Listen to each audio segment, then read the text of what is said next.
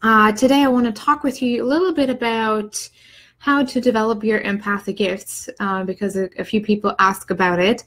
Um, for one, how to understand and how to know what kind of gifts you have. That's a kind of a different topic, and it's not really from from experience. And really, I've been working with.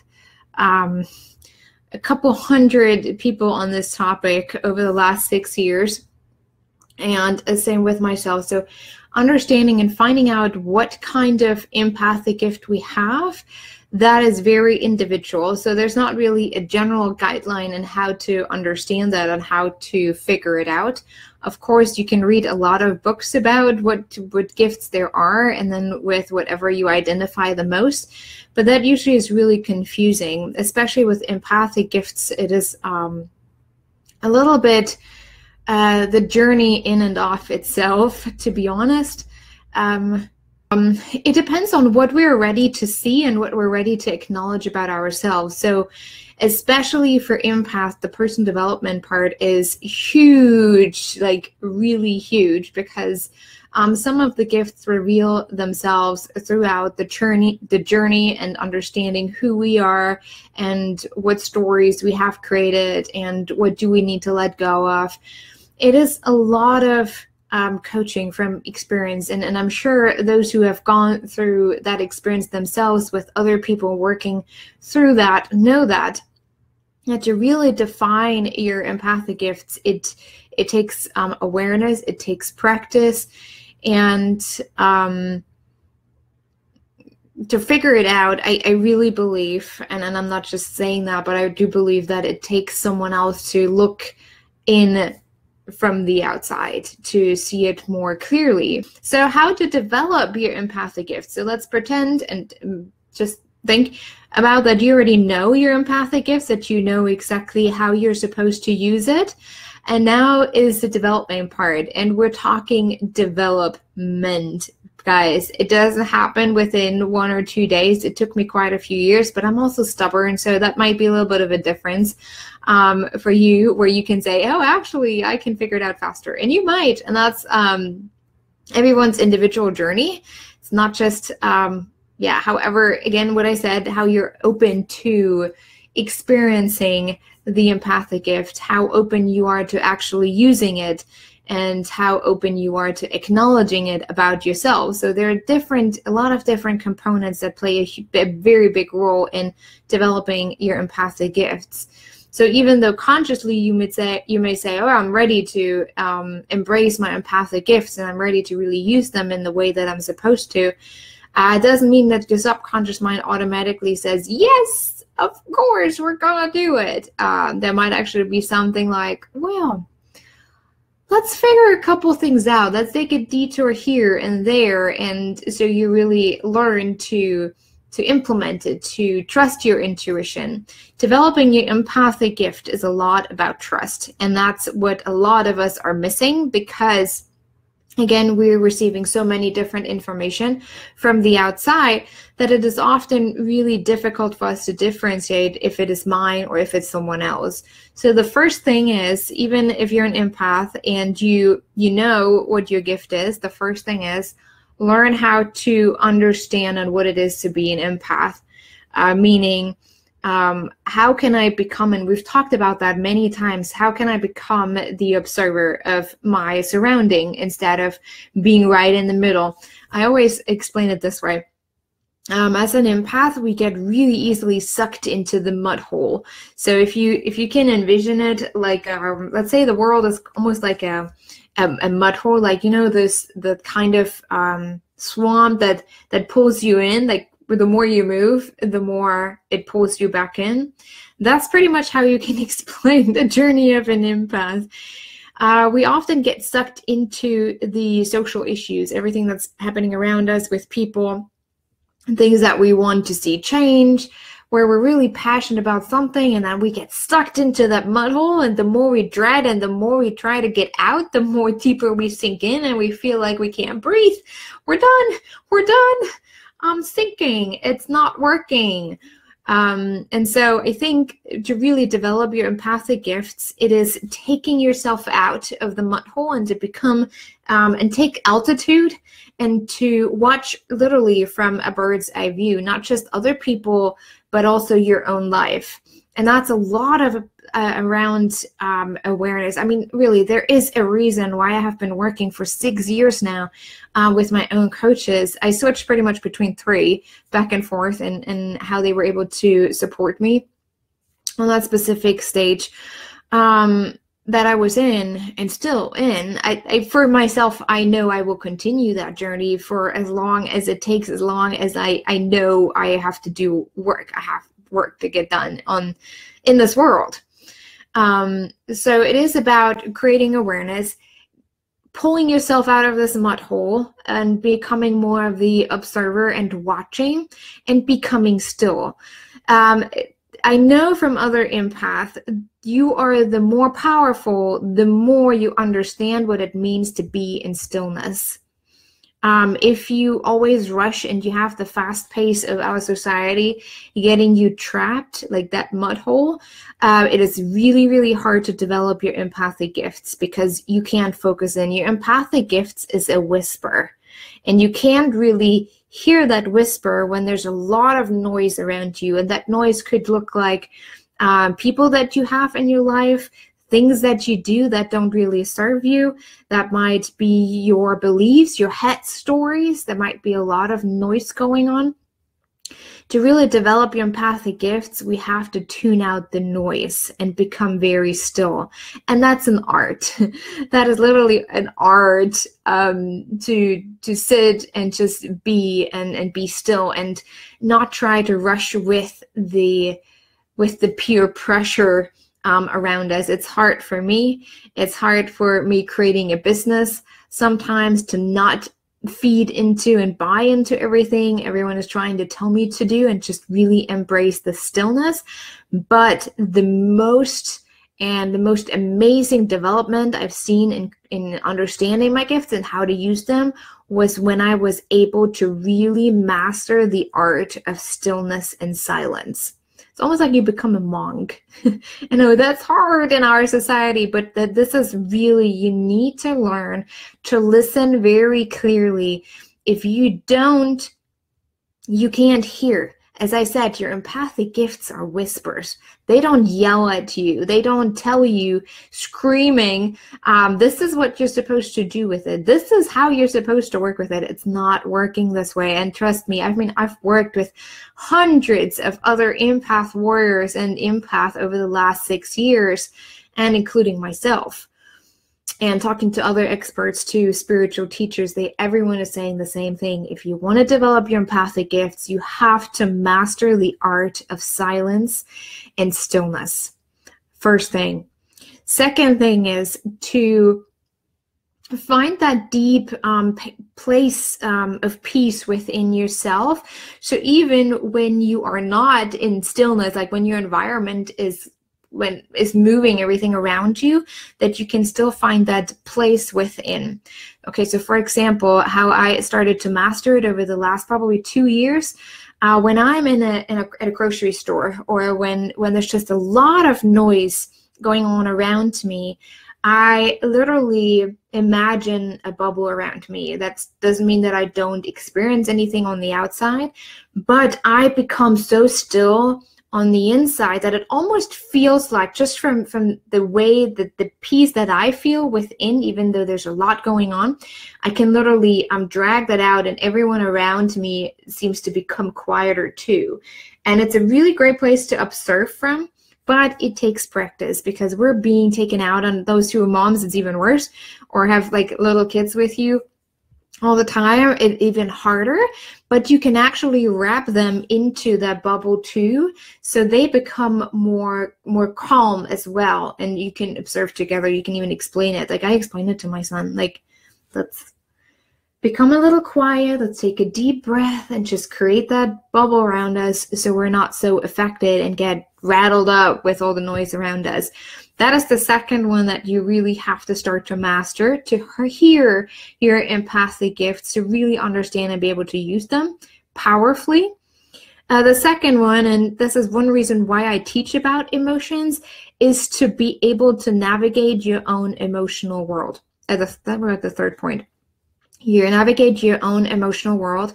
This is the very, very important, as I have mentioned to you a couple times. Your emotions are your native language. So to master that, you have to be able to really navigate through it and understand what is it that I feel so you can eventually identify that with other people. So that means the more awareness you create about yourself, the more awareness you create about other people. Uh, the more you can recognize things and the less you respond to people or react to people on the outside, the more you can stay within that space of observer um, and hear like messages if it's through angels or god speaking to you like there are those whispers like hey ask them this question or tune in with them point something out whatever your empathic gift is and where it is leading you. It could be within nature it could be within earth in general. It could be um, emotional it could be physical it could be on a molecular level that you have this gift to connect with people on a molecular level uh, maybe it's it's something. Maybe your empathic gift is driven by smell. Um, that there's something about a specific. I I know one person she was able to. Um, distinguish a very specific smell that is connected to cancer. So she has been able to help cancer patients to early on already to say, hey, I think you need to get checked out or there's something. And she had to learn that over many years to really trust that instinct. Um, and so, again, it's the same. Um, if you understand your emotional world and what you feel, you're more clearly able to distinguish if it's your own or if you're just um, experiencing it from someone else. Okay, so that's the third point. Um, and then from there, when when you have that mastered within yourself, that's when you're able to really hear the messages. You can uh, pay attention to signals. You can pay attention to um, how people interact around you. Maybe suddenly they something shifts within them, but you can only pay attention if you're not so busy with yourself. Um, and that again requires that inner place of silence, that that mastering the art of silence uh, within yourself, creating that peaceful place and being aware of your own emotional state. Are you just being triggered by that person, whatever they said? Is it something to do with your own story? Or is it really something that you picked up on with um, that person? Maybe something that you can support them in. Again, remember, even as an empath, we have a fix default behavior. We're not here to fix. You are not called to fix anything because we're coming from a place of um, people being whole and perfect at the very core essence and from a from a spiritual standpoint that means god within a higher power their higher self um, that is never broken so they do have the ability to fix themselves, even though there's not really anything to fix, but to work through that. And all we have to do is to be with them. And sometimes when we hear messages, is to say, Hey, I hear this about you, or I'm recognizing this. Does that resonate? Or I just feel called to say something about this or that. Um, it is never about fixing someone. And I had to learn that the hard way, trust me, because I always felt like I need to fix them, I need to fix them. And then I got really anxious when clients didn't respond the way I wanted them or thought they had to feel. Um, and it got read, got got me wrapped into that hero mode and i was always overwhelmed and at some point burned out by working with clients because i always felt that need like i have to fix them. I have to give them a specific result of what they're supposed to experience. That's what they pay me for but it's not true especially as an empath. Our healing work is to be with them to give them the space to explore to discover. And that's pretty much the work of a coach. Um, for those who are really trained that's again that's my story, and people might agree or not agree with that, but I do believe that every life coach should be certified and trained um, because it's it's a really important place to, to be in. Like you can slip off really quickly in either direction. Uh, but that's just me. Um, I'm it. That sometimes triggers me. But uh, that is important just to know that you do not have to fix anything as an empath, no matter what kind of um, gift you have, even if it's related to nature. Um, it's hard to say to not to fix, but I like to I like to exchange it with the term improve. Even when you're an earth or a nature empath, um, we are focused on moving forward and not staying with the past of what has been done because we can't change it. Empathic work is always forward moving work. So even if you're an earth or a nature empath or an animal empath, it is about moving forward, meaning improving. So that could mean that you're involved in some kind of um, organization that supports nature and environment and whatever that would look like.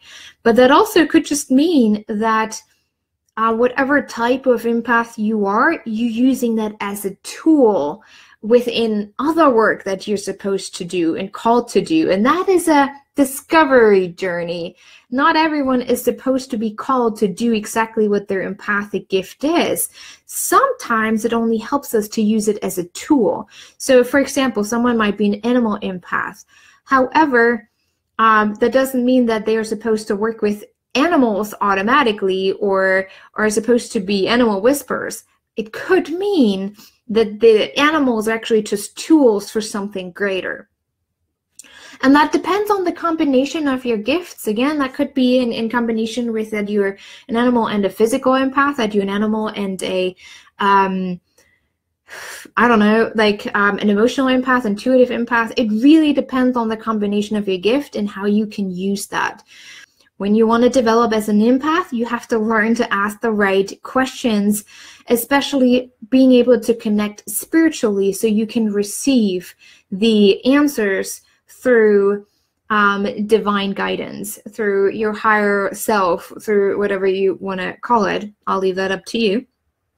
Um, that that is pretty much the journey that you're going on in developing your empathy gift it doesn't happen within a day it doesn't happen within a month and most of the time it doesn't even happen within a year it really is the journey that uh, lays open that gift that you have and how you're supposed to use that i mean for me seeing colors around people i I'm explaining to you this way with my own gift. I always knew, like for me, I thought it was normal that I see everything in color. Who knew? I thought everyone does. Duh. Um, so um, over time, I just do them like, oh yeah, the, the the number two shows up in yellow, or that place shows up in blue. Maybe there's something like, for example, I see my city, Indianapolis, as in yellow. And um, how I interpret this one is actually that there's a lot of leadership potential that we're not tapping into yet.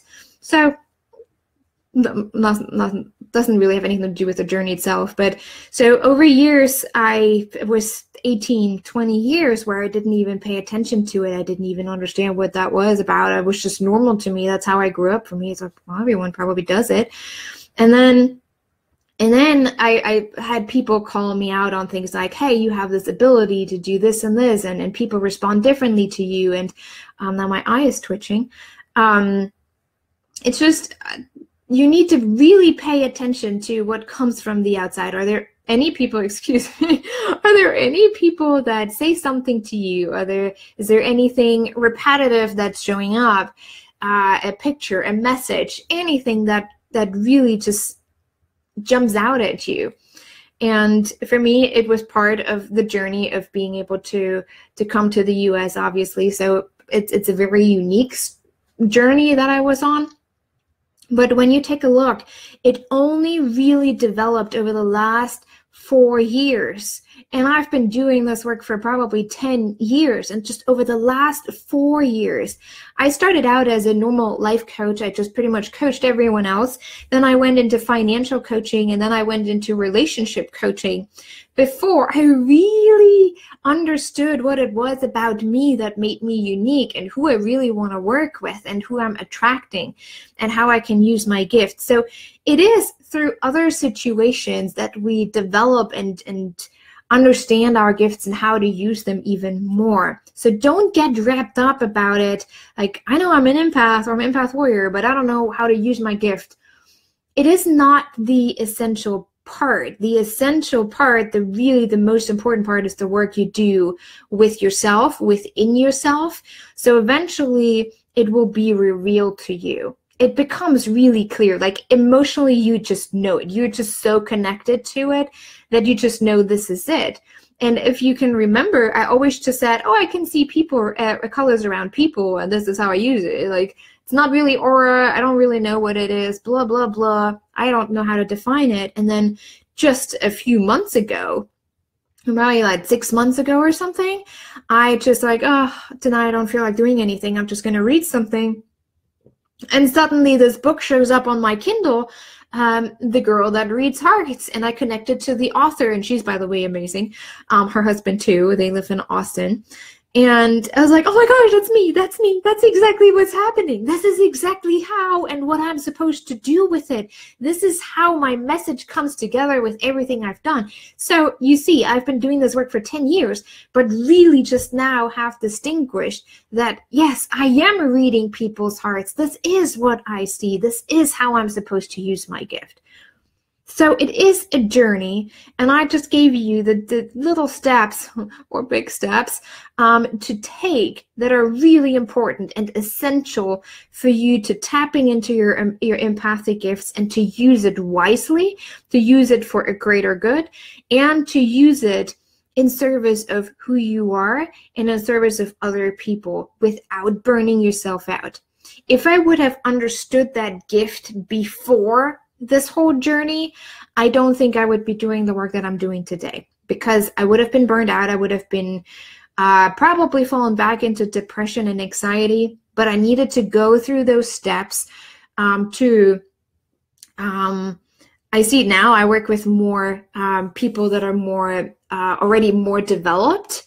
So I needed to develop too to still be able to support them. And again, this is why I work with my own coaches consistently uh, because otherwise I can't move it forward. I would always stay where I'm at and not really develop myself. I have to do the work on myself to be able to support you guys. So, um, if, if, again, if I would have been able to to distinguish it exactly how I'm able to do it now, I don't think I would be where I'm at today. I'm 100% sure it wouldn't be the case. I probably would have um, suffered from depression and anxiety again and just kind of fallen short on everything I ever wanted to do. Um, so now you have it. I think I mentioned three or four steps that are really important for you to develop your empathic gift. You have to focus on yourself first before you can take it outside. Um, and again, your empathic gift don't necessarily are what exactly you're supposed to do or whatever. It could be simply a tool that you can use in a specific area that you're called to work in. Um, yeah. That's pretty much it. Because not everyone is supposed to go out and do Reiki and heal people. Not everyone is called to, even as an empath, not everyone is called to um, go and, and join Greenpeace. Not everyone is supposed to uh, become a social worker um, to use your gift the most and and the wisest it really is very very individual and it takes more than one person meaning more than you um, to take a look and to reflect things back to you and to help you understand hey this is what i see this is what I recognize about where you're going, or maybe other people get visions about you. If someone comes to you and says, Hey, I feel like I needed to tell you this, or I feel like there's a message here, take it with a grain of salt and say, Oh, I'm listening to it. And then go and meditate on it. Like, How can I use it, what they just said to me? Learn to ask the right questions. Like, um, if you know you're an emotion em- emotions empath or even a physical empath, is this pain that I feel mine or if it is someone else's? Listen your empathic gift is a whisper. If you try to develop it within the, the space of noise and overwhelm, it will never work. You will misuse your gift and you will um, probably hurt yourself more than actually that it helps you. That's my experience. And again, I've been doing this work for quite a few years. I've worked with a couple hundred people um, and myself. So I think I know what I'm talking about. so trust me on that. Um, it, it, does make sense. So have some fun with the things. Don't don't take it too seriously. Even as an empath, we tend to be quite serious. Um, have some fun with it and just experiment a little bit. Be a child with it. I think that's the best thing to do. All right, guys, have a great day, and I'll talk to you again next week. Bye.